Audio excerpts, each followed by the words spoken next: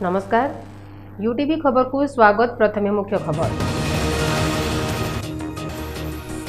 ବ୍ରହ୍ମପୁର ଦୁର୍ନୀତି ନିବାରଣ ବିଭାଗ ତରଫରୁ ଦୁର୍ନୀତି ନିବାରଣ ସଚେତନତା ପଦଯାତ୍ରା ଅନୁଷ୍ଠିତ ବିଭାଗ କର୍ମଚାରୀଙ୍କ ଦ୍ୱାରା ଦୁର୍ନୀତି ନେଇ ପଥପ୍ରାନ୍ତ ନାଟକ ପରିବେଶିତ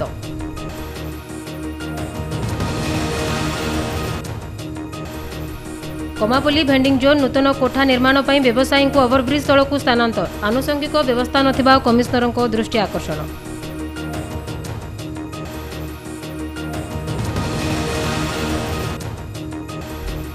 ଡ୍ରାଇଭରଙ୍କ ପାଇଁ ବୀମା ଯୋଜନା ସମେତ ବିଭିନ୍ନ ଦାବିରେ ଓଡ଼ିଶା ଡ୍ରାଇଭର ସଂଘ ତରଫରୁ ଜିଲ୍ଲାପାଳଙ୍କ କାର୍ଯ୍ୟାଳୟ ସମ୍ମୁଖରେ ନିଆରା ଭାବେ ଆନ୍ଦୋଳନ।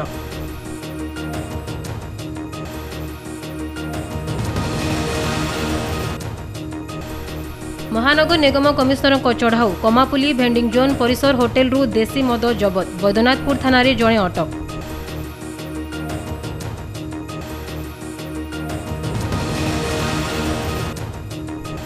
ହଳଦିଆପଦର ବ୍ରିଜ୍ ପାର୍ଶ୍ୱ ରାସ୍ତାରେ ଦୁର୍ଘଟଣା ପରେ ପ୍ରଶାସନର ଚେତା ପଶିଲା। ଯୁଦ୍ଧକାଳୀନ ଭିତ୍ତିରେ କାର୍ଯ୍ୟ କରାଯାଇ ଓଭରବ୍ରିଜ୍ ଉପର ରାସ୍ତା ଦେଇ ଗାଡ଼ି ଚଳାଚଳ ଆରମ୍ଭ।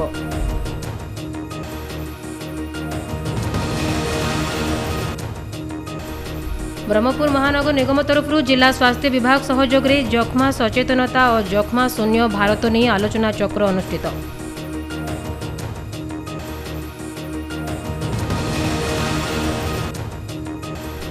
ପବିତ୍ର କାର୍ତ୍ତିକ ମାସ ବଡ଼ ଏକାଦଶୀ ଓ ପଞ୍ଚୁକ ପାଳନ ଅବସରରେ ଶ୍ରୀ ଭେଙ୍କଟେଶ୍ୱର ସ୍ୱାମୀଙ୍କ ପାଦ ଦର୍ଶନ ପାଇଁ ପ୍ରାତଃରୁ ଭକ୍ତଙ୍କ ଭିଡ଼ ସ୍ୱତନ୍ତ୍ର ପୂଜାର୍ଚ୍ଚନା ଅନୁଷ୍ଠିତ।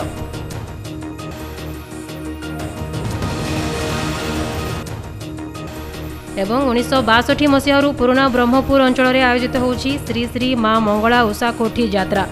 ଗାହାଣୀ ଦଳର କଳାକୃତି ପ୍ରଦର୍ଶନ ଦେଖିବାକୁ ଦର୍ଶକଙ୍କ ଉତ୍ସାହ।